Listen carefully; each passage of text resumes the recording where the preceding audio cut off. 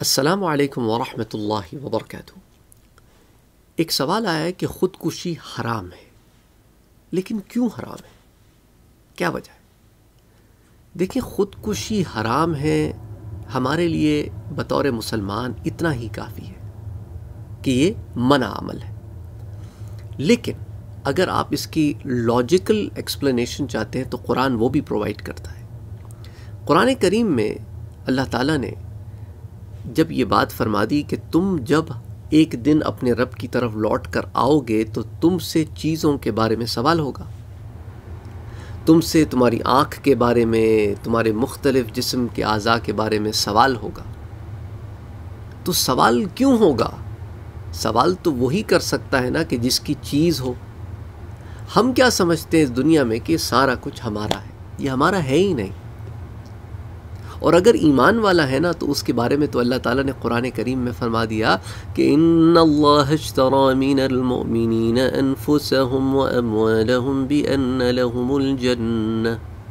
कि मोमिनों से तो अल्लाह ने ये सौदा किया कि उनसे ख़रीद लिया सब कुछ जो उनका था। तो अब वो सब अल्लाह का है। यानी दिया तो अल्लाह नहीं है, लेकिन चूँकि वो ईमान वाले हैं, इसलिए उनसे अब सौदा भी कर लिया। अब सौदे का क्या मतलब है?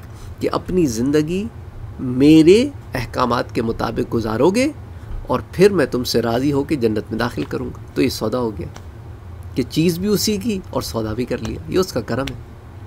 और जहाँ तक कुफ़ार और मशरकिन का ताल्लुक है तो उन्होंने सौदा तो किया नहीं, लेकिन अमानत तो उनके पास भी है। तो जो कोई इस अमानत को ज़ाया करेगा जवाबदेह होगा। Simple as that. ये सारी चीज़ें अल्लाह की अमानत है, ये हमारी हैं ही नहीं। तो जान भी अल्लाह की अमानत है। इसको भी अल्लाह ताला ने कुरान करीम में फरमाया है कि अपने हाथों से अपनी जानों को हलाक मत करो। इसके अंदर हलाकत से क्या मुराद है? सिर्फ़ ख़ुदकुशी है? ख़ुदकुशी शामिल है, लेकिन ये सिगरेट पीना, है? तम्बाकू मुख्तलिफ़ ऐसी चीज़ें का इस्तेमाल, जिससे शराब, इस कस्म के और मामलात, इससे आपकी सेहत का कबाड़ा निकलता है। इसका भी सवाल होगा। फालतू में रातों को जाग रहे हैं सेहत का कबाड़ा निकाल रहे हैं, सवाल होगा। वक्त ज़ाया कर रहे हैं, सवाल होगा। इसी तरह इन आँखों से गंदी चीज़ें देख रहे हैं, कानों से गंदी चीज़ें सुन रहे हैं, ज़बान से गंदी बातें कर रहे हैं, हाथों से गंदे काम कर रहे हैं, पैरों से गंदे कामों की तरफ़ जा रहे हैं, सवाल होगा। क्योंकि आपका है ही नहीं।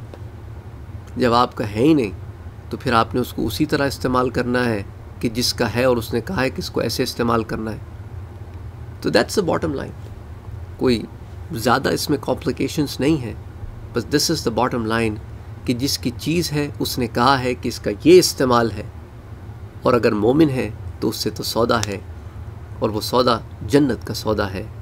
जिसकी, जिसमें उसने जाना तो है, लेकिन लेकिन अपने परवरदिगार को राज़ी करके जाना है। अपना और अपनों का बहुत ख्याल रखिए, अल्लाह ताला इस गुनाह कबीरा की लानत से सबको महफूज फरमाए। दुनिया में जो मसाइब और परेशानियों को हम फेस करते हैं, उससे कभी कभी लोग इतने दिल बर्दाश्ता हो जाते हैं कि उन्हें समझ नहीं आता कि क्या करें तो माज़ल्ला माज़ल्ला वो इस कस्म के ख़्यालात की तरफ़ जाते हैं, जो कि बहुत ही गलत है। क्योंकि ये अल्लाह की अमानत है इसे ज़ाया करने का हमें कोई हक़ नहीं।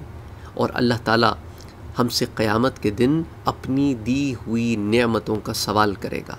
और ये ज़िंदगी और ये जान, ये नेमत है अल्लाह की, इसको ज़ाया करने का हमारे पास कोई हक़ नहीं है। और देखो, अल्लाह ताला किसी जान पर इतना बोझ नहीं डालता कि वो बर्दाश्त ना कर सके। तो इसलिए इस कस्म की चीज़ों से बचें, इस कस्म की थाट से बचें आप अल्लाह के बंदे हैं। अल्लाह के बंदे बन के रहें। और बंदे बनने का तकाजा ये है कि आप उसके बताए हुए रास्ते को फॉलो करें। और दुआओं के ज़रिए उससे मदद मांगें। और दिल बर्दाश्ता ना हो। डोंट गिव अप बहुत सारे लोग दिल बर्दाश्ता हो जाते हैं गिव अप कर देते हैं। इतने दिनों से मांग रहा हूँ इतने दिनों से मांग रहा हूँ। देखो ला न, ला तकनतु में रहमत अल्लाह की रहमत से नाउमीद मत होना। बहरहाल अस्सलाम वालेकुम वरहमतुल्लाहि वबरकातुहू